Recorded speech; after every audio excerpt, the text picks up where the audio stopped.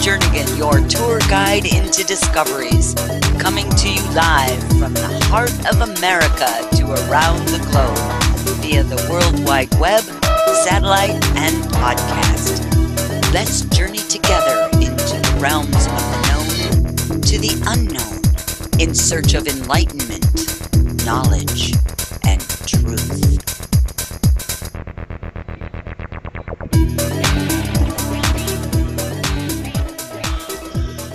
Good morning, good afternoon, good evening, wherever you are on this beautiful planet we call Earth. This is Rebecca Jernigan, and you're listening to Journeys with Rebecca right here on Project Camelot TV. We have a really fantastic guest for you today. His name is Ben Mezrich. He's the author of the book that we're going to be talking about today called The 37th Parallel. Now, I want to add here that he is more than just an author of this book. He's a multiple New York Times best-selling author. I'm really a privilege, really, to have him here.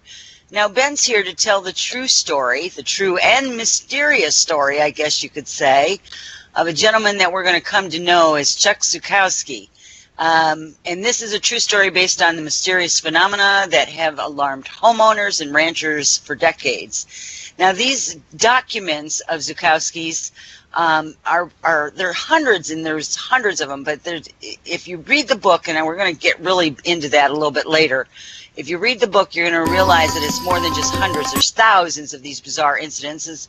Um, but Zukowski himself wrote most of this information down and cataloged it but these are incidents of cattle mutilations and UFO sightings along the southern borders of Utah, Colorado, and Kansas.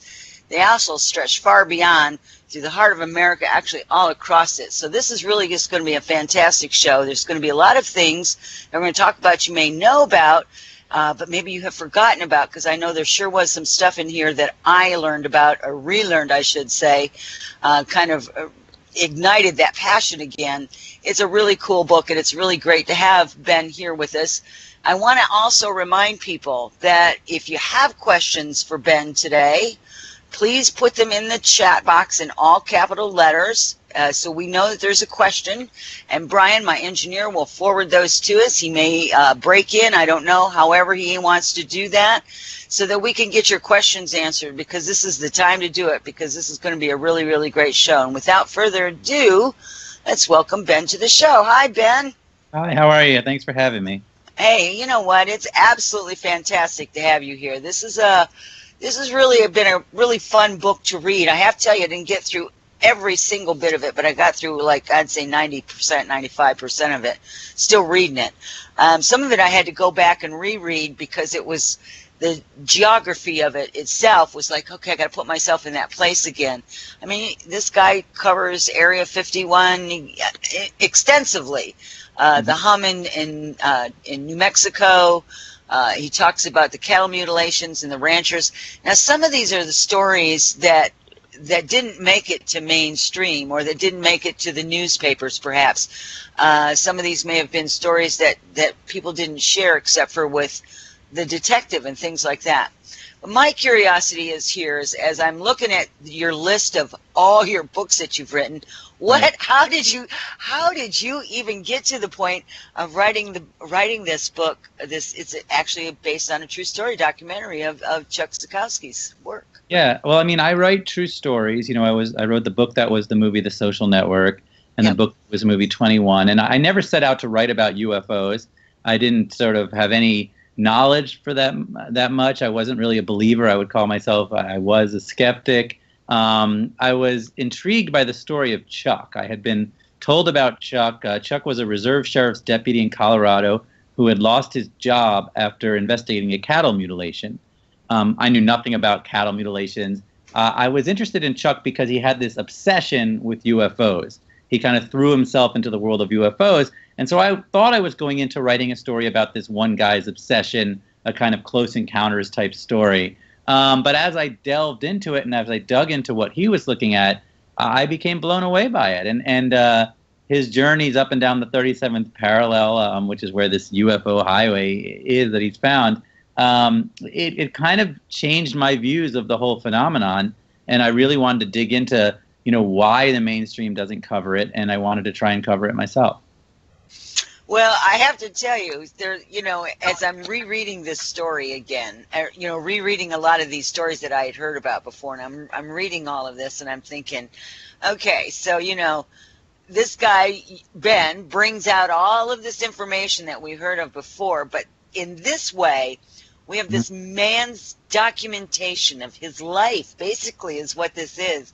And this comes from a guy that, you know, can is very believable. He's very knowledgeable. I mean, he's not some kind of a little, you know, quack right. or whatever. And, you know, you, you read it and you go through it and it puts it in such a I don't know, in such an order. You know, it's an orderly right. fashion that you can really wrap your mind around it and you think, wow, this is a huge picture. It's right. a huge picture, and even what Mr. Zukowski covered is just not even probably touching the tip of the iceberg. You know, yeah. in, in, comparison, it's just fabulous. Yeah. So, so um, as as as we're looking at the geography, start out with one of your favorite. I mean, how did you start out with him? Did you start out with him in the right from the very beginning?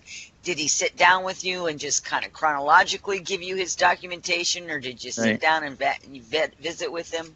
Well, I flew out to Colorado. You know, he had he had been fired from the sheriff's department. He was now a self-described UFO nut. He had an RV.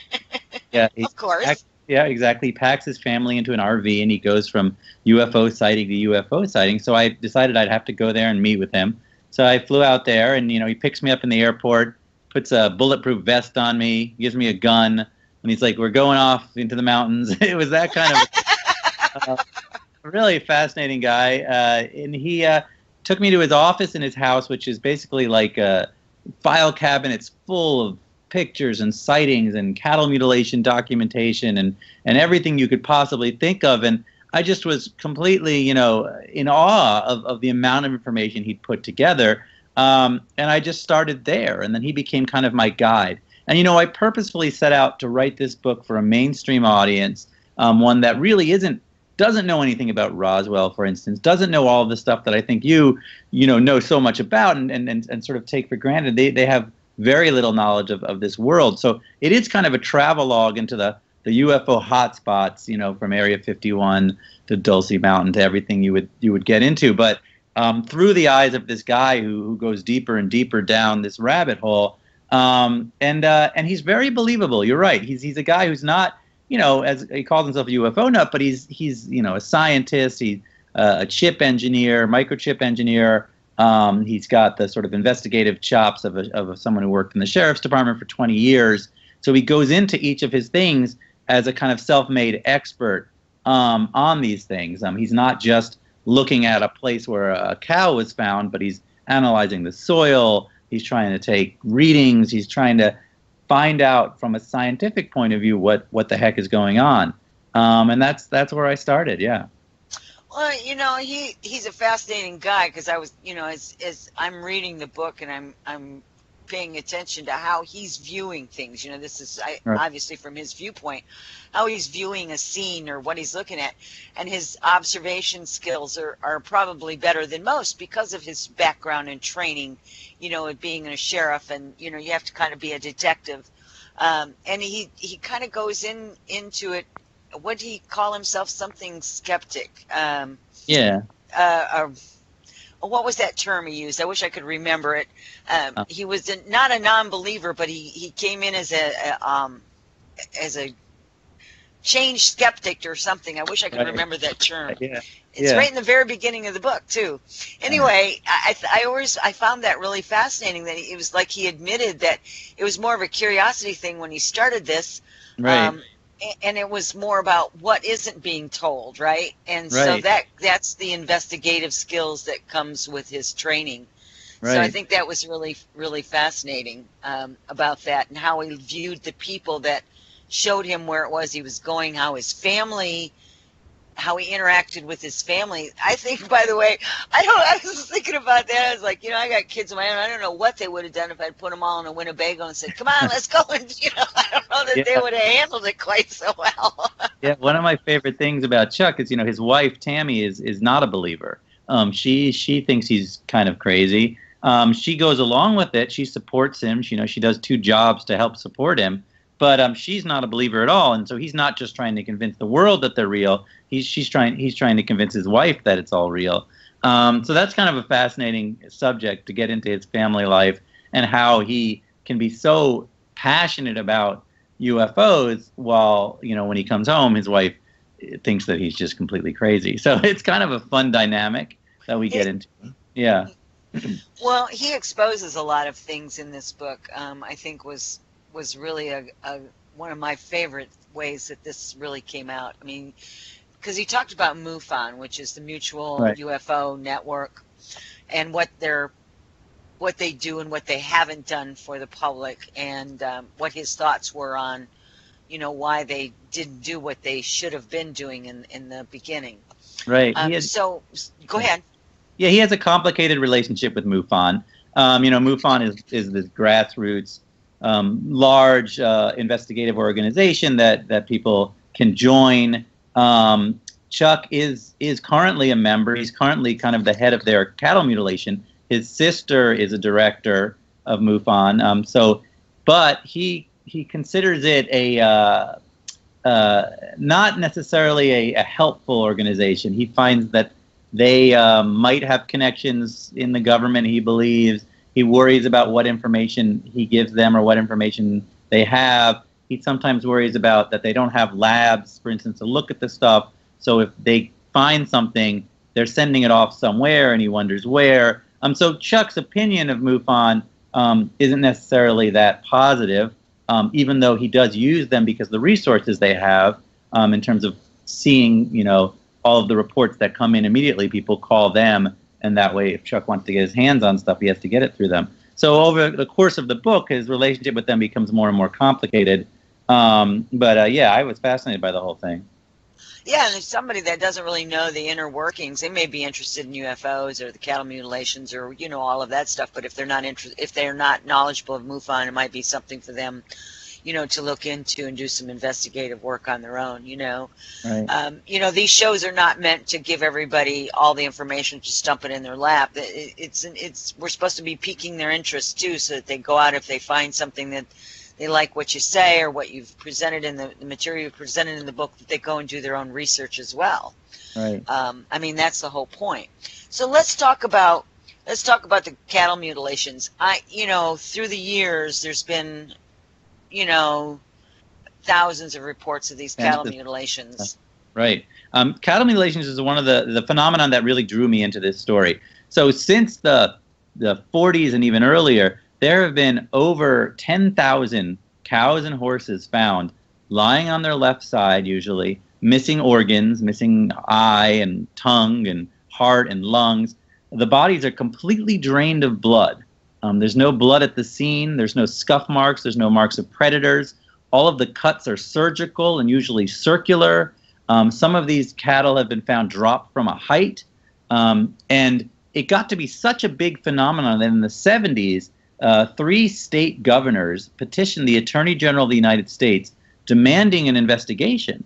Um, the FBI was called in. The FBI involved 100 agents over a 10 year investigation and inve- and no one's ever been arrested. They came no real conclusions.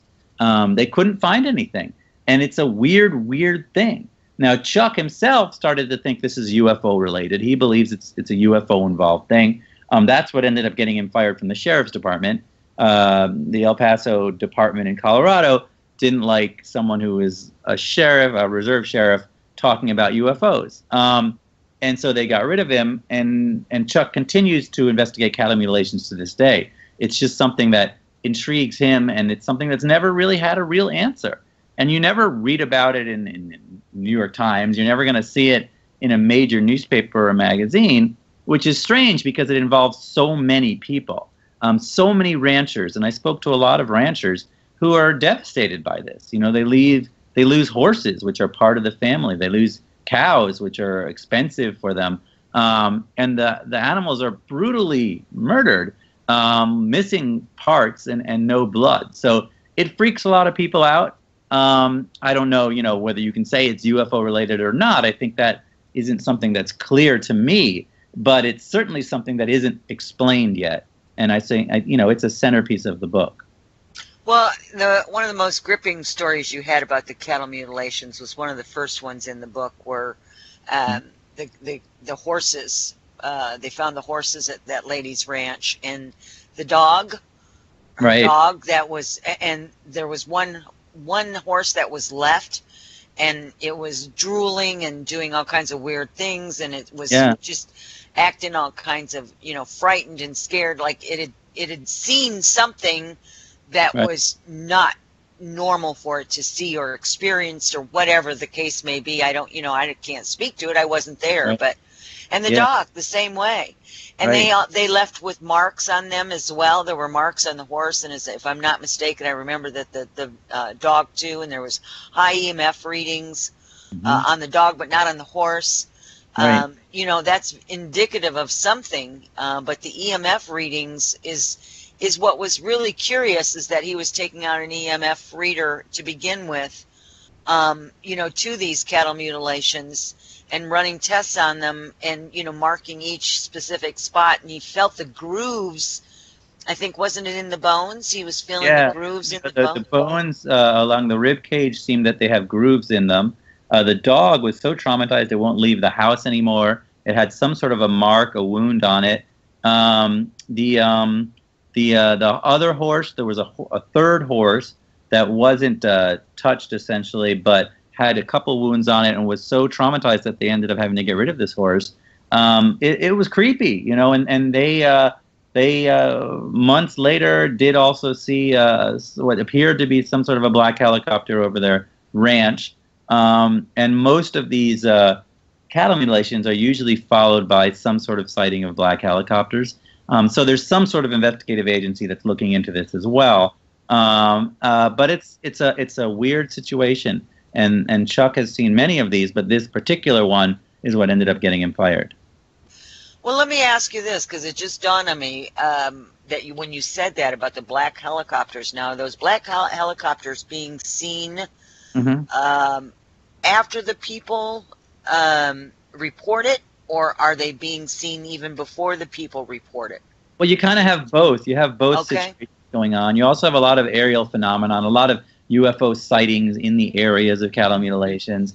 Um, things like that are, are very uh, common in these situations, which is why Chuck thinks it's UFO related. Um, the helicopters is a strange one. You know, they're always unmarked. They're always coming by over the ranches within a few days of the mutilation. Um, they're not involved in the mutilation. Um, I think they're after the fact. But in the 70s, the reason the governors petitioned the attorney general is this had been going on, and when uh, these state uh, governments attempted to do land surveys, the ranchers would shoot at their helicopters um, because the ranchers were so traumatized about what was going on in their ranches, they just assumed anyone flying over them was, was up to no good. Um, and that's the reason the investigating was first started was they could no longer fly over the ranches with helicopters. Um, so it's a it's a it's an amazing story, I think. Wow. So we already have a question from the chat room. They're say, asking how does the 37th parallel fit into this? And before Sure. you answer that, Brian, if I can't see what you're doing, so if you would, please put that map up um, where uh, it shows where I think this is this is from uh, one of the sites. It's up.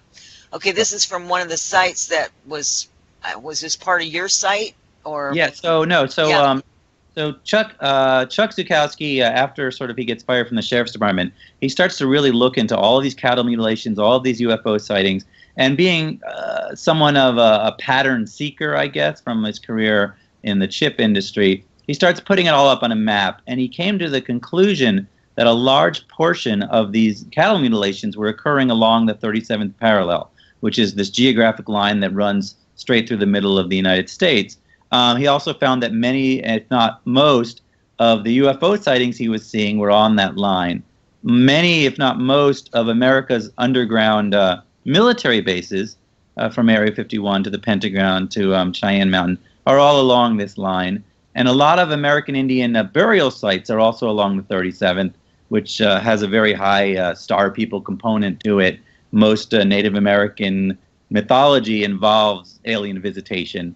Um, so it's uh, it's this weird confluence of events that occurs along this parallel, runs you know along the borders of Colorado, New Mexico, Utah, um, straight down through the middle of the country, um, and that's where Chuck started to center his research. So he starts moving up and down the 37th parallel from site to site, um, looking for a reason, you know, looking for some sort of correlation to make sense out of all of this. Well, and I, I appreciate that information. I appreciate you sharing that with the audience as well. You know, mm-hmm. you have to ask yourself, even if you're not a non-believer, totally non-believer, that what you just shared with everybody about the military underground bases, about this is where most of the sightings and the you know the majority of the sightings and, and mutilations took place, um, and all the other things, that mm-hmm. there's something in the the burial grounds of the of the uh, Native Americans. There's there's obviously something going on along that grid line, that energy line. You know, it's not it's not a coincidence. I, first of all, I don't believe in coincidences. I believe that everything has a reason, even if it's it, it doesn't seem uh, it, it doesn't seem like it's present at the moment, right? But everything has a reason. It may be far connected, but it does have a reason. This 37th parallel, as soon as I seen that map and and looked at that more closely, I was like, okay, well, this is these are stories. I, I have I have probably about 15 people that I have interviewed through the years that have told me stories about their own um, hauntings and you know ghost stories and uh, UFO sightings and things like this that take place more towards the east of from Missouri over, and that's where most of theirs are coming from. So I find this really interesting because this is like a connect the dot for me from just from my years of doing, you know, the the interviews with people that have written about their own stories, and they're very, by the way, they're very individualized. There are only a few things, and this one covers a gamut of hundreds, if not thousands, of reports. So there's something there. I wish, you know, here's here's the question. Does anybody really know what's going on in the 37th parallel? What is it? Who knows? But there's right. an attraction there for some reason. Right. I mean, Chuck definitely gets into, you know, he has his own theories about it, um, but really for him, it's just a, it guides his investigations. Um, there seems to be some sort of underground cavern cistern in this mm-hmm. in this area. Um, there seems to be, you know, a water uh, source that runs along from one side to the other. The U.S. military often uh, utilizes already present underground cavern systems when they build their bases. Um, so their reasoning for, for going in this area is probably because these caverns exist. Um, and it's who knows, you know, it's it's uh, it's intriguing and uh, and it's definitely a, a cool centerpiece to the story. It is. It's it's really fascinating when you start thinking about it.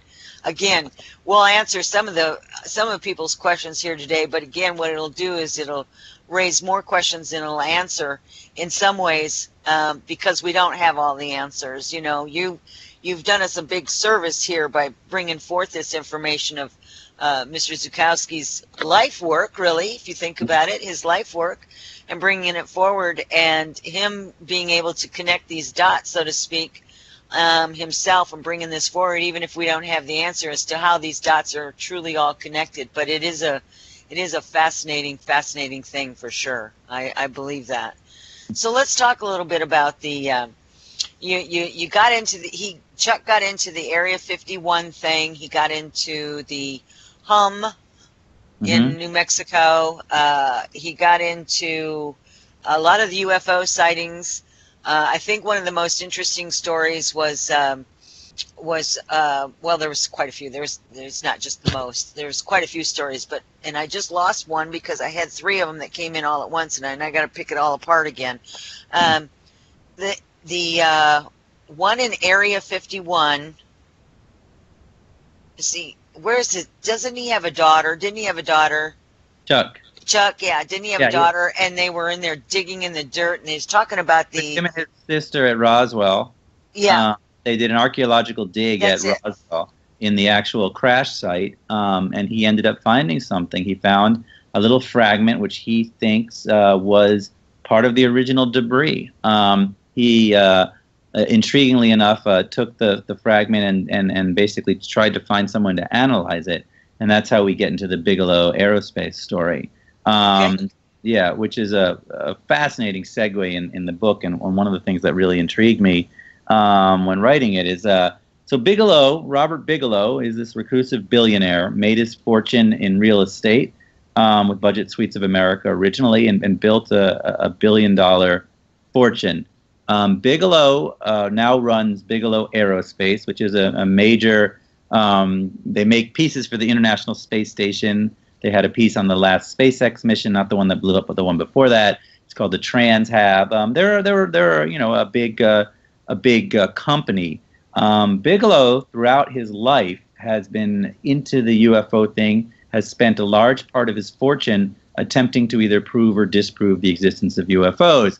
He funded something called the National Institute of Discovery Science for many years, which hired a bunch of real scientists to attempt to look at um, UFOs and UFO sightings and to try and find the truth.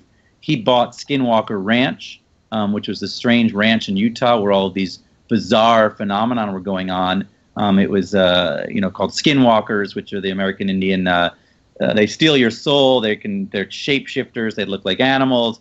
Um, a lot of UFO sightings, cattle mutilations. Bigelow bought it, um, put up a fence, and then installed a bunch of scientists there. Um, anyways, when Chuck found a little piece of material, he put out a press release at Roswell saying, I found a piece of what I think is the original debris. Will anybody help me analyze it? He was contacted by Bigelow's people. They uh, have a lab where they analyze UFO stuff. Um, they took his piece, they analyzed it, they sent him a, a response saying that they could not figure out in their entire catalog of, of, of known uh, uh, products, this did not match anything. Uh, they didn't have any, it wasn't a smoking gun. They couldn't say that it was alien or whatever, but they had no answer as to what it was. Um, and then they stopped all contact with Chuck. Chuck became very suspicious of them. Chuck believes that Bigelow is involved with reverse engineering alien technology, um, and that you know there are a lot of conspiracy theories about Bigelow. I personally think that Bigelow is more a good guy than a bad guy. I think that Bigelow is really attempting to to find the truth. I, he's a true believer, um, but wants to use science and use his fortune to find real answers. Um, people in the UFO world think that Bigelow is working with the Defense Department um, he is working with NASA, and this is a really interesting thing. The FAA, you know, that our, our American pilots are all involved with, they have a manual. In the manual, if you look in the manual, uh, if a UFO is seen by a pilot, if a pilot sees something they can't understand, they don't report it to the FAA. They don't report it to the United States government. They report it to Bigelow. And this is fascinating to me that a private company is now uh, the person that our pilots are officially supposed to report UFO sightings to. Um, this is in the UFO manual. The UFO manual, I, I, reprinted this page in my book, The 37th Parallel, so you can see it for yourself. Um, it's a wild thing. So obviously, you know, it used to be the U.S. government investigated UFOs. Now we have essentially uh, outsourced that to Bigelow. Um, and uh, that's a really cool kind of connection to the whole story. Um, so whether Bigelow's a good guy or a bad guy, you know, remains a question. I think. Um, I think that he has a lot of information, um, thousands and thousands of files, because he was running. You know, he still runs his own investigations, well funded. You know, Men in Black essentially. Um, these are the people who will go in and, and seek this stuff out, and, and they have the means to do it. Um, but he doesn't, you know, publicize his information. His information is not available to the public he shut me down. You know, I had a source inside his company, so I was able to get some really amazing information. But all my attempts to get him to talk to me were all shut down by his publicity people because his company has all these relationships with NASA because they're building real things for the space station. They can't be seen as being kooky, you know, or whatever you want to call it. Um, so they have to kind of hide their true purpose, which is involves the UFO studies. Wow. Yeah. it's a wild it's a wild segue into the story um, that fascinates me. I love writing about sort of these underground secret things, and and this is clearly something that has never really been publicized. Although you can find a little bit here and there on the internet about it, but the FAA thing was just stunning to me. That is stunning. Um, uh, I, I I've heard stories. I don't know why we got some feedback there. I've I've heard a lot of stories where uh, airline pilots anymore are not they just don't report it so it's interesting to note that there actually are but it's just not to any official capacity, that it's all, all un, unofficial. You're talking about right. unofficial back channels. Absolutely and it's written right in their manual. Um, you know if an airline pilot reports it to the faa they'll get fired. Um, if they report it to you know their own bosses at the airlines they'll get fired because everyone will say your pilot is crazy. Um, but if they report it to bigelow he sends a team out to investigate well, and I think that's interesting. So let me ask you a question about that. It seems how Bigelow's got all this money, and you know he's he's done all these things. Do you think he could be part of what's going on with the black helicopter thing?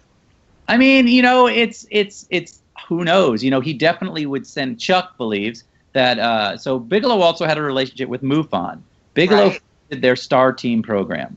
MUFON has a star or had a Star Team program where the best investigators um, would be called on uh, for important investigations. They would be funded with a stipend and given equipment. Bigelow was paying for that. Um, he then decided to cut off the STAR Team program because he thought that MUFON wasn't a scientific enough organization, that they weren't um, uh, professional enough um, to work with. But Chuck's belief is that he uses MUFON to get the information, to, to hear about the sightings, but then sends his own team. Chuck says that many investigations that he's done, uh, Bigelow's people already have been there or already on their way there, and that information was going through MUFON. So Chuck is very suspicious of it all. Well, and I, I, I can't say that I wouldn't be either in, in his position, honestly, because it just it is, that was my first thought was that, well, it, you know, if we've got this private contractor basically, and he's got all this money to build all these things, and you know, maybe he is back engineering. Who knows? But the thing is, is black helicopters. If he's got the permission from somebody, right? right. If he's the go-to guy for any investigations by airline pilots or whatever, then you got to know he's got you know some free reign there where the rest of the public or people would not have. So eh, it's it's something to maybe think about. You know, hopefully we can find some answers to that. Sure. Yeah, it's it's bizarre and it's it's intriguing and. Uh, I, I was excited to sort of get into it as much as I could. Well, and it's it, I'm I'm sad for you though that you weren't able to get any more information from from that yeah. part of it. But I guess it's you know that whole idea, and it, it, it really kind of upsets me is about the need to know. I guess you didn't need to know, so right, you didn't right, get the right. information, right? Right. And like, who decided that I couldn't know that, right? But you know, it is what it is. Um, I get a I get a little bit on a soapbox with stuff like that, Ben. My bad. Uh-huh. Um, anyway, so okay, so we've got the the cattle mutilations, and and you've you kind of explained that really well as far as how that you know what kind of the chain of command is is where people would be you know they contact somebody usually their local sheriff or police department when they find that right um, and it is sad to watch what is I've seen just a gazillion pictures of these animals that afterwards. Right. Um, it, it's it really is just um, it's just really it's just really awful. Right. Um, so all right, so my my uh, producer Brian wants to know why Chuck was fired and did some incident. That, I think you talked about that incident. Yeah. What was the incident well, so and why he got fired? Yeah. So while Chuck Chuck was a reserve sheriff's deputy for many many years, decades, um, he always kept his UFO hobby separate from his job as a sheriff. Um, you know, people in the uh, department knew what he was into. He had got he got the nickname the Mulder of El Paso, Colorado, yeah. um, because it kind of spread around, and so people would always take him aside and tell him their UFO stories. But he never brought it with him on his investigations. He was clued into a cattle uh, mutilation on a ranch in Rush, Colorado, uh, by a reporter um, who had sort of done a story on it. So Chuck went out there and interviewed, you know, the, the rancher was doing his investigation when a local news team came and wanted to interview the rancher. Um, they also interviewed Chuck. Chuck on camera basically uh, intimated that there was UFO involvement. When the sheriff's department saw this, that's when they uh, they summarily dismissed him um, decided that they did not want someone who believed in UFOs being known as a reserve sheriff's deputy. Um, so that was the end of his job there. He was he was upset about it. that made a lot of news um, in Colorado. Um, but Chuck, you know, went on, and that's when he became this this UFO hunter. Well, I think now we'd call that discrimination because of your belief system. I mean, you would think. I, I, sadly, UFO belief is not a protected class. um, yeah, I know. Uh, so, I would be, I'd be throwing out straws there. Try as I may, right? Right. Yeah, right. it's too bad. It really is. It's too bad.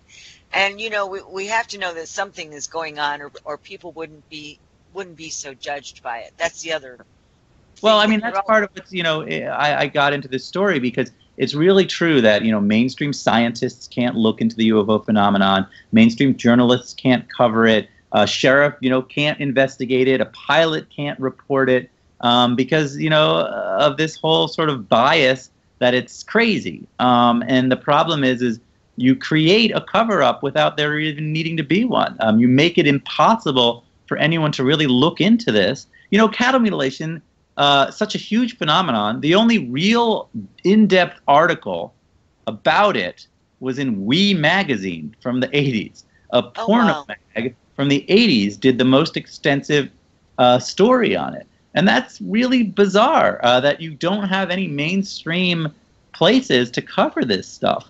And, uh, and that's because of this, this bias against this world um, that it's, it's got to be crazy or it's got to be you know, a joke or it can't possibly be real. Um, and that's just not really true anymore. Uh, the, the, the impediments to believing in UFOs are falling. Um, you know, uh, we used to believe there isn't life on other planets because it, it seemed unlikely. Now we know there probably is life on other planets. You know, we find a new Earth-like planet every day. We used to think they're too far away. The vastness of space makes it impossible that anyone ever got here. But we now know that's not true. Uh, Proxima Centauri, which is you know has an Earth-like planet around it, is uh, reachable by current technology in 40 years.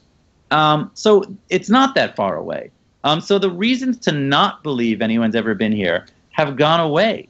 Um, so it shouldn't be something that you look at as crazy. Now, listen, 99.999% of these sightings have an explanation you know, a military test, um, you know, a, drone, you know, something like that. But it's that 0.001% that we're just not looking at. And these things have to be investigated. Um, there's no reason why mainstream um, journalists or scientists aren't looking into this. You know, and I have to agree. And I think the other side of that is what happens to these people that they, these incidents is the 0.001 right. percent, if if that's the percentage you're going with, what happens to them? Yeah, you know, I mean, they they they have no support group. People all around them, um, you know, are pointing fingers at them. You know, they're outcasts. I mean, look at what happened with Chuck. Just because he had an interview on TV and said that he thought maybe it was part of a UFO thing, and and look what happened to him. Now, for him, it wasn't a, so bad of a deal, but people's lives have been altered right. by this discrimination right. because of their refusal to look at this. And this takes us right back to obviously area 51 right. in the 40s when that you know there was more than one crash there. Right. But well, I mean, they the, only talk about the one. Go yeah. Ahead. um, well so the roswell story is a, is a spectacular story to me. Um, you know there's the roswell of today which is kind of the kitschy go dress up as a UFO, an alien and go have a burger in a flying saucer restaurant right. and stuff like that. But the actual story of Roswell is one of the greatest sort of um, uh, uh, cover-ups in, in, the Air Force's history. It's 1947. It's a it's a stormy night. Uh, Walker Air Force Base, which was our first real nuclear base, um, where the planes that bombed Japan were housed. Um, they tracked something coming through the sky in, in, the middle of a lightning storm. Whatever that thing was, crashed. Um, it hopped, so there were three different crash sites essentially, but it left 300 yards of debris over a rancher's ranch. The rancher found all this weird metallic debris covered in hieroglyphics. He um, called the local sheriff, who called the Air Force Base. The Air Force sent a bunch of people out there. They scooped up the debris. They put out a press release saying we now have in our possession a flying saucer. Um, they then rescinded their own press release, said it was a weather balloon. They made a photo with a radar operator in the debris of a weather balloon. Everyone involved in that photo has since come forward and said that it was a faked photo. Um, the guy in it, the photographer, everyone involved said it was fake. They then took that debris and moved it to Area 51, where it is sitting to this day. Um, that's an amazing story. You know, it, it, it has so many levels to it. it. There was an obvious cover up for whatever reason, um, and the Air Force still to this day won't tell you what they really found there. Um, it obviously was not a weather balloon. Um, what it was, we really don't know. And that's something that, you know, until whoever is controlling those files decides to make them public, goes that route, um, it will always be a mystery. And it's a, it's really a shame. It's because uh, I interviewed the the grandson of that pilot that um, the, Marcel. picture the, yeah Marcel. Yeah, yeah um, that picture it was taken of him. And he he was a kid or mm-hmm. the I guess he was the child. Maybe the child. the, yeah he was a child. he was a child. Because right. he was an elderly man even then when I spoke with him. Um, he talked about what happened that night when his when his dad came home and what he had and and you know all of that stuff. And then then he said the next day this is what happened. Um, he talked about you know the the people coming in and telling him that he couldn't talk. And uh, he, he, he even talked about how he felt. You know as a kid he would think he was like eight or ten years old. Uh, he was talking about how he felt about it. And he was just so um, stressed over the whole thing because of the weirdness of everybody's behavior and what what transpired during that photo op. And that he was supposed to say that you know he was mistaken that this is what they found and blah blah blah blah blah. And yeah. it, but his dad had already spoken to him and said that he i guess his dad had already figured out that it probably wasn't going to stay the story wasn't going to stay because he kind of warned him before it happened. So somebody warned him uh, mr marcel that this was going to happen that you know the the government was going to come in and they were going to make him do a different story on it. And he gave some information to the young boy. Of course, he wasn't old enough to think about documenting it or writing it down that it would make some kind of history someday. You know, it was just another day in the life of a child, right? You know, so right. fa- it is a fascinating story. And of course, to this day, they they they don't even say that Area 51 exists.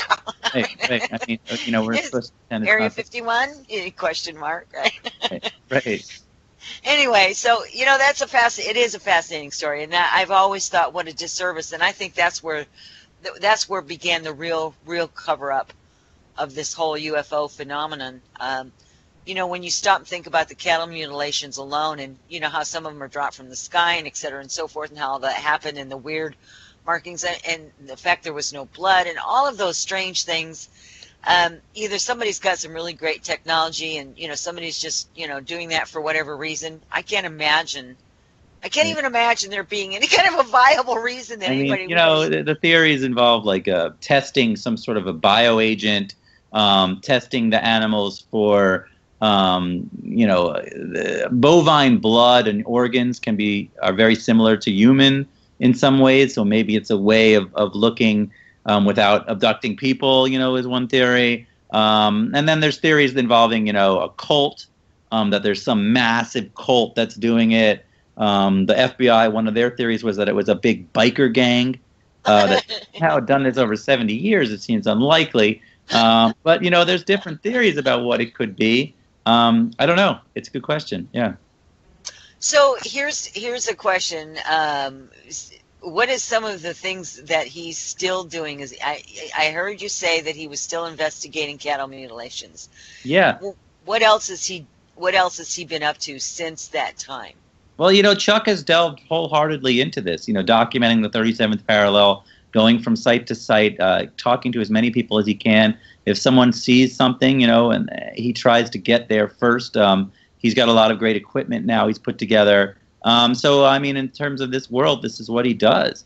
You know, he doesn't make any money at it uh, yet. Um, he's really just trying to really get the truth out there, looking for a smoking gun, uh, essentially, looking for real proof. Um, uh, but that's what he does. You know, he's out there in the in the field, essentially, um, trying to get as much information as he can. Well, you know, as I'm looking at this story, and, and based on what some of the other stories that you've done, how did your publisher feel about you doing this, a story like this? Sure. You know, this was an interesting situation. So I sold the movie um, before I sold the book. Uh, it's uh, it's going to be a movie with New Line Pictures um, and the guy Beau Flynn who produced uh, San Andreas and um, a lot of other movies um, is producing it. And uh, so after I'd met Chuck, you know, I, I, I thought it was fascinating. I wrote up a, a proposal and uh, sold the movie with the proposal, and then you know sold the book off of it. My my publishers know me. You know, I've worked with the same publisher for a couple books now, and I do these you know big true stories that often have a movie attached or a movie developed from. Um, so you know, I, I, think the UFO thing was intriguing to me. I, have discovered as this book has come out, it's it's uh, it's very um, uh, a lot of people love this topic.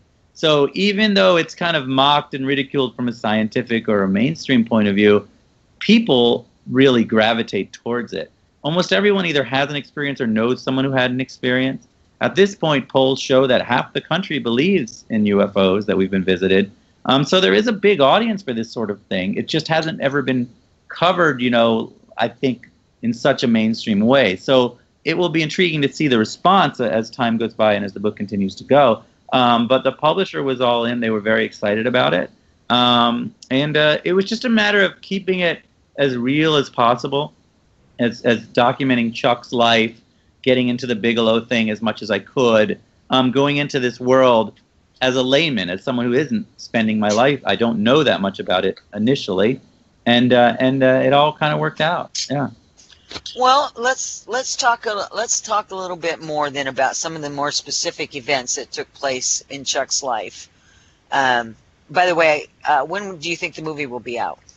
Well, I mean, we'll make it. You know, we were in the process of attaching a screenwriter right now, so someone ah. has to write a screenplay, and then we will shoot it next year, and then uh, it would come out in 2018. That's the goal. Well, you'll definitely have to have somebody get a hold of me on that so I can promote that for you. I'll right. go see it myself. Yeah, it will be um, cool. Yeah, yeah. So, you know, I talked to you a little bit at, at, the beginning of the show about how some of these incidences that Chuck had um, talked about is things that I had since forgotten. I'd learned about, read about, heard about, whatever the case may be, researched on my own. Uh, I'd like for you to talk a little bit about the Manhattan Project because that one is uh, that one is a, a big one. Yeah, so one of the things people often say when you say, you know, there's a cover up, or they say, well, the U.S. government isn't good at things like that. They can't keep secrets.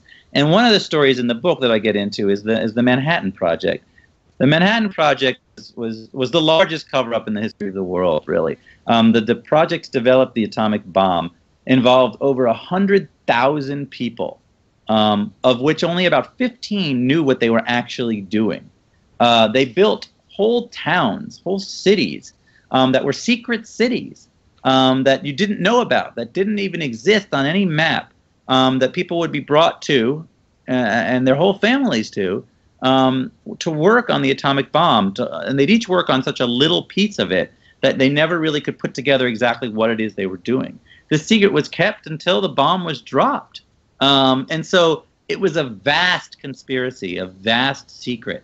Uh, part of the project was to keep uh, the whole idea of nuclear science secret. There was a department of censorship created that would censor the word atomic or the word nuclear out of newspapers, magazines, even Buck Rogers comic books were censored um, so that the word nuclear did not appear in them. Um, this is staggering. You know, it's a, a cover up of, of a massive proportion um, that was done for uh, what, was believed to be a good reason. That's the other interesting thing to me is not all cover-ups or conspiracies are bad. Often these things are actually done for good reasons. Uh, if, for instance, a UFO did land at Roswell, there might be a very good reason to keep it secret. Um, I don't know what that reason is, but the government might have one. In the 60s, they commissioned the Condon Report, which was a, a bunch of professors got together to decide, you know, are, is the UFO phenomenon real? But one of the questions they were asked was, what would happen if tomorrow we announced that a flying saucer had landed? And their conclusion was it would be complete chaos, that society would fall apart, that people would stop going to work, that religions would fail. Um, and this scared people in the Air Force. And I think if there is a cover up, that's where it all started. Um, so it might be done for a good reason. The, the, uh, the Manhattan Project was, you know, to win a war and to end uh, World War II. And I think um, this is something that may have a, a reason like that. Interesting. Um, that, that's that, that's an interesting. Uh, yeah, that's interesting. Um, and and I have to tell you, I don't necessarily. I understand what you're saying. I mean, people have said this to me. I don't care who I have on my show. I don't necessarily agree that that pulling the wool over people's eyes is necessarily right. a good thing because what happens is is when they find out it's different. Right. Right. Uh, you know, and, and, then then yeah. what do you think's going to happen? It's like it's like learning the tooth fairy isn't real. Right. Remember and how you felt? it's true. Information kind of wants to be free, and eventually, information gets free. But you know, sometimes there are things that that need to be covered up. I'm not a, a believer that everything needs to come out all the time. I think something like this, though, I think we've developed. You know, I think yeah. uh, society has changed enough since the 50s and 60s that people would not fall apart knowing that life was here. Um, I don't think the idea that someone visited here in the 50s is going to destroy uh, the American economy. Um, now, religions might have to change a little bit. Um, and I think uh, the re- religions as a whole have to deal with the alien life thing sooner or later. Because sooner or later, we're going to find proof that somewhere out there there is life. And how that affects the big religions of the world, um, I don't know yet. I think they're going to have to come to grips with it. I think they can adapt. Religions always seem to adapt. Um, the story always seems to change um, as we find new things, right? So, uh, so you know, listen, uh, Australia didn't exist in the Bible, it exists now. Um, things like that happen. Um, so, uh, so you know, religions will have to get used to it. I think. And and I have to agree. I there's some things I'm sure that I really wouldn't want to know. Somebody was talking right. about Area 51 today and about, uh, you know, do we really would you really want to know everything that they have down there? And I'm not sure that, you know, even for the most open-minded person, uh, right. if if they could really handle exactly what they saw or knew about. Uh, to that extent, you know, where you would know all of that. And I think right. it could be a little bit mind blowing, but um, I can tell you, I feel like that there's a change coming with all of that. I mean, mm-hmm. we, we had the the Pope. I think it was the Pope, wasn't it? Or the, uh, the Vatican came out and said we have to embrace our star brothers and sisters. I mean, and that they, was they, comment, you know, and it, it, makes you think, well, what do they know? yeah, yeah, exactly, exactly. Right. There's got to be a lot going on. Well, right. let's talk a little bit more about what were some of the more specific sites that Chuck investigated as you were you know, putting together his story that you found interesting. I mean, I know we talked about the the one branch, and then we also talked about Area 51. Right. Um, what was some of the other ones that you might have really? Right. Well, I got a little bit into Dulce, Dulce Mountain, which is a um, there's an underground base there. Um, it's something that Bigelow's people looked into. They sent scientists to Dulce to try and find this underground base. Um, there are people who believe it's a, an alien base. There are other people who believe it's a American military base. There's other people who believe it's a joint American military alien base. Um, there's no question about whether or not there's a base, though. Right. Um, and uh, and Chuck uh, goes there uh, looking for something. He had had a sighting there himself um, when he was researching something. Um, so that is definitely one of the places that's in the story. Um, I get into the the hum in Taos. Uh, I think that that is an intriguing story about this whole town that hums. Uh, a percentage of people there can hear this persistent, uh, annoying um, humming noise. It, it's investigated numerous times in history. Um, there are certain theories about it. It involves some sort of underground drilling or some sort of uh, alien phenomenon. We go to Sedona in the story where there are the vortexes, which is kind of a Native American thing, but there are these vortexes that kind of open up, and you'll be driving in the middle of the night, and and something will will some sort of energy field occurs there, and, and Chuck goes to look at that. Um, yeah, a lot of cattle mutilations, a lot of the, the history of cattle mutilations, going back to the original cattle mutilation, um, this the Snippy the horse story, which we get into in the story. Um, yeah, and, uh, and and and numerous other ones, but those are kind of the big ones. The Foo Fighter phenomenon, I think, is a really intriguing phenomenon that I get into. Everyone knows the name Foo Fighter from the band, but the original term comes from a phenomenon in the 40s, during World War II, American pilots and British pilots flying over the Rhine uh, kept seeing these fireballs. Uh, these formations of fireballs would fly right alongside their airplanes. And it got to a point where the New York Times ran a cover story. What are these Foo Fighters? Um, are they some weird German weapon? Uh, after the war, when we captured the German scientists, we, we interrogated them and asked them what these fireballs were, and they had no idea. Um, so it, it's something weird happened. Uh, Roswell happened shortly after that. Um, so the first flying saucer that Kenneth Arnold saw was a year after the Foo Fighter phenomenon ended, and then shortly after that, within weeks, you have Roswell. Um, so you know that to me is a, is a, a flag that if something was going on in that time period, those three things are probably related. Um, but um, but that's a phenomenon that you know to this day the fireball type of UFO is still something that's seen um, here and there, and and what it is, you know, we don't know. Yeah, um, I interviewed uh, Dr. Lynne Kitei, um, and she wrote the book on the Phoenix Lights and how mm-hmm. many people uh, had actually witnessed that and how she witnessed it. Um, and she got under a, a, lot of scrutiny over that over that book. I mean, I, I think she was uh, I can't remember what kind of a medical doctor she was now. It's been many years ago since she wrote that book, uh, but it was a fascinating read. In as much as watching what happened to her town and all the people around it, but that's still another one that's you know on the books is the is the Phoenix right. Lights, uh, because so many people witnessed it. Right. Um, and I, there again, that incident over there in California, I don't know if Chuck talks about it in his book, I can't remember, where there was all that open fire into the sky for I don't know how many hours. Uh, our military went out and was just blowing up the sky. Um, and I can't remember what their cover story was now, but people think that they were firing upon a UFO.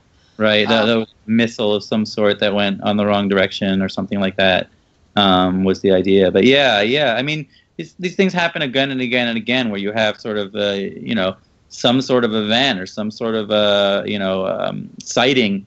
And if it were anything other than UFOs all of these witness accounts would lead to some sort of investigation. But in the world of UFOs witness accounts don't mean anything. Um, so it's uh, it's intriguing you know. It, it would be enough to convict someone of a crime. You have a hundred witnesses to something but it wouldn't be enough to, to have you look at whether or not there was a UFO. Interesting correlation there. I like that, Ben. Right. I didn't I didn't think about it that way, but that's very interesting. Yeah. So again, we're going to bring it back to the 37th parallel. All of these events, most of these events that have been documented, um, again, and we were talking about the Dulce bases, the underground bases. We're talking about the military underground bases. We're talking about cattle mutilations and then this 37th parallel. Isn't that event that I was talking about over there in uh, California along that same line as well? I believe and so. We, Area 51 is, yeah, the Taos Hum is, um, uh, all of these things occur. Dulce is, they're all in the 37th. You know, and, and it's it's an interesting way to look at it. You know, it's a way to sort of correlate it all if you want, and that's essentially what Chuck does. Yeah. Well, and I, I really enjoyed the story on how he actually put that all together to begin with, where he was, you know, in his office and he put that map up and right. just was he was just actually just kind of making a map for himself of where he's been. Right. I you mean, know, he was he was working on a map of, of his own investigations, and then there was an earthquake um, in Colorado um, near him on the 37th parallel.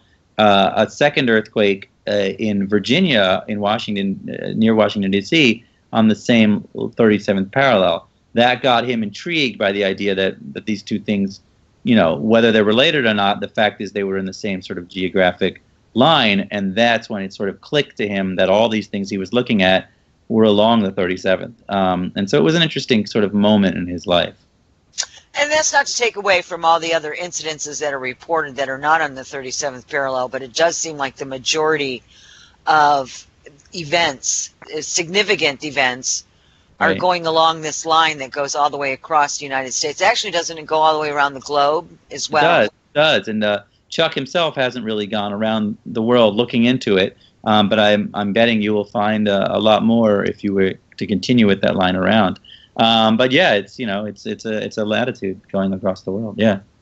You know, that'd be interesting to see if that would correlate at all with the crop circles and stuff that are that you know that they're always finding over there as well. I mean, I think that would just be an interesting phenomenon. You've got Yeah. me. You've got me. I'm sure some of the audience out there is probably already starting their research now, even as we speak. I can tell you uh-huh. that. It'll be the sequel. The sequel to the book is going to Oh be. yeah, there you go. There you go. Right, right. Well, and that's exciting though to, to see that that there's a, a book coming or a movie coming out ab- about this book um, because it's all documented cases. This is not just you know some embellishment by Hollywood. That this is Right. actual you know actual investigations and research and et cetera and so forth. Now we've we have a lot of shows where I think we're we're we're getting better with some of the shows that are being produced, like the Ancient Aliens. They're Right. doing a lot of research on their things and bringing out uh, some of their other other investigations as well as far as what they call the ancient astronauts, Right. uh, UFOs, whatever. Uh, I, I'm hoping real soon, Ben, that we can actually come across some some some pieces that will be presented that will be mainstream and get off this whole thing of you know if you have 100 people that witness something like you said the ufo sighting that they're all mass hallucinating but if you have 100 people that you know witness a, a car accident or a crime it's it's all oh good you know it's like wow, Right. it's a little upside down and this Yes, it's interesting. Yeah, I mean, it's a, it's a, it's a, it's, it's people have a, a blank, blank spot to this. They can't, they can't see um, this being something real. And you know, once you refuse to believe it's real, it doesn't matter what you're shown or what you're told. You're just not going to believe it. That's true it's true people get pretty stubborn in that and Right. uh you know and to be fair, you know, the reverse is true too. Some people believe too much. Um, Yeah. Sometimes, you know, you, you interview someone and, and they're believing every single thing, and then it becomes harder sort of to, to take them legitimately too. It, it, there's got to be sort of a middle ground. Um, You- yeah, Agreed. You have to be willing to look at both sides or the many sides and then draw your own conclusions. But I've come to the point in my life where I look at things and what I know today doesn't mean that tomorrow I won't change my mind because I may find some new information that that makes what I thought was true or valid Right. invalidated. So, you know, it's not that you lied the day before, it's just that you have new information and you're drawing a different conclusion based on the new information. So, yeah. like to share that with people so that they themselves, you know, understand that about whatever's going on in their life as well. So we we talked a lot. You you had he had a lot of incidences in Colorado. Uh, Colorado seems to be kind of a, a big place for him. Do you have any other stories that you could share with us before we, you know, we go any further in this today?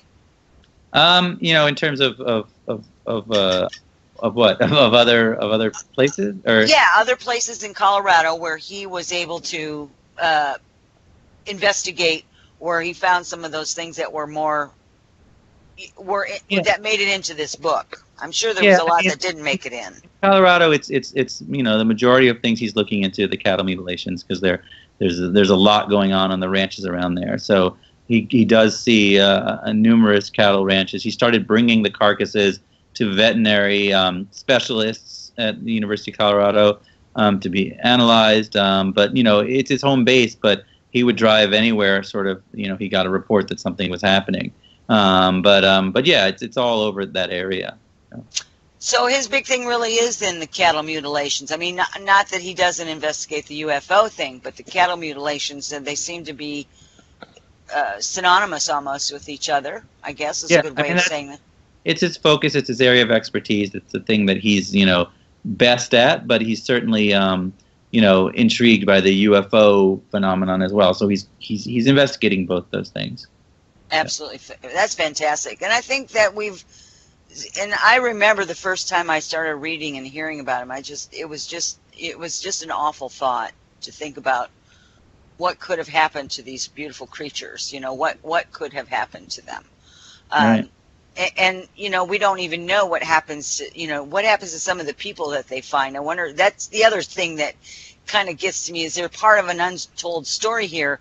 people that's gone missing did, did they experience something like this you know where they've never found them i mean you know i mean it, it can happen i'm not saying it does i'm just saying it could happen and i just think about all these things and i think wow this is something that needs really needs to be investigated it needs something, and I don't know what could be done. I mean, other than just putting cameras everywhere on your ranch property to figure out what you know what happens when your cattle are out or what have you.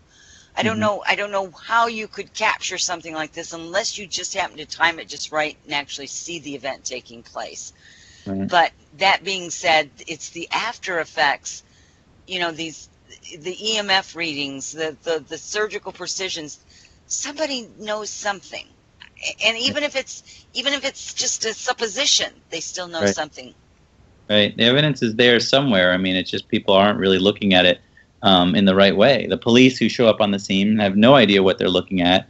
Um, they write it off pretty quickly, you know, and, and, and they, they don't have an answer. No one's ever been arrested. 10,000 cases and not a single person has ever been arrested. And you know, I think that's absolutely fascinating too. That uh, out of all of these cases, that that nothing has ever come of any of it. I mean, we don't hear any follow up on anything like that. I mean, we've heard about the stories, right? Right. But you never hear the follow up ever. As right. a story, a little blurb in the newspaper or whatever. Uh, if you're an internet reader, it's a little blurb here, but we never hear the back end of it. What happened afterwards? What did they find? What was the findings?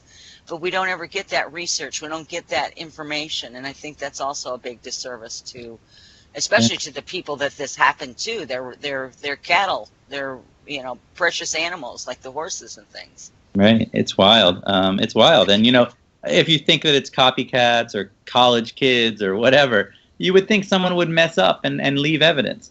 you would think somewhere someone would would have gotten caught. Um, the fact that no one's ever been caught makes you wonder. Yeah. yeah. that goes beyond usually the, the human aspect of it. If you ask me, I mean, we, we're we're if we're doing something that many times, you know, we're going to have a off day, right? right. Exactly. exactly. Yeah. We're going to mess up somewhere. Yeah. And so uh, Brian is asking me something about a whistleblowers. So no whistleblowers have come forward then on this topic for you, other than you know, in, in terms of my, me, no. I mean, I, the book just came out. I do get a lot of emails, but um, you know, who knows what's real and what's not. When the FBI did their investigation, a prisoner did come forward claiming he was part of this vast biker gang. That's where they got this biker gang theory.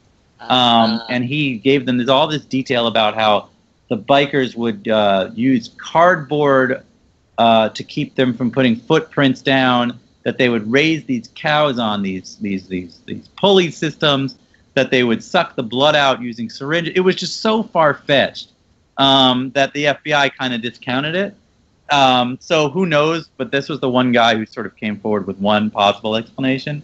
But no, no one's ever, you know, come to me and told me what's going on. I mean, I, you know, people do come to me, but I don't think any of it is. is the problem is, is you really have to, you have to really investigate this stuff. It can't just be theories and theories and theories. Um, and that's what nobody's really doing. You know, the the police aren't doing it. The FBI are no longer doing it. Chuck is doing it, um, and he's just one guy with an RV. Um, so who knows what he's going to find? Yeah. Well, my hope is is that um, is that after all of this is said and done, yeah. with this book coming out and everything, that maybe uh, you know maybe there'll there'll be some good people that will step forward that you know believe like he does and, and have that same same conviction right. and and really the wherewithal just to focus on what this is and help him with it. Um, right. That would that would be a, a, wonderful thing to get some answers. And Ben, please do me a favor, honestly. If you hear anything, um, I would just love to hear back from you with an update um, on anything. If you find some additional information, uh, something where people could you know, maybe go and investigate themselves. If you find anything, I would really, really love to hear from you about that. And I'm sure my sure. Uh, audience would as well. I'd be happy to post anything that you would send along the way. That'd Absolutely. be really great. Awesomeness. So, Ben, as we're kind of wrapping it up, we're, we we have a little bit of time left, but uh, we can certainly uh, wrap this up anytime that you're ready. But what I would like to do is have you kind of in a in kind of a nutshell is maybe to share again uh, with people um, the idea behind the 37th parallel, um, just a little short synopsis of the whole book, and then, of course, we need to know uh, where they can purchase this book right. and how we can find out more information of when your uh, your movie will also be released on it.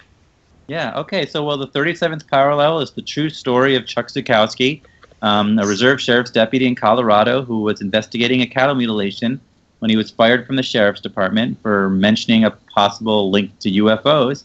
He became a UFO hunter, um, began uh, investigating both cattle mutilations and UFO sightings, and came to the conclusion that a majority of these things occur along the, the 37th parallel of the United States, which is a geographic line running through the center of the country.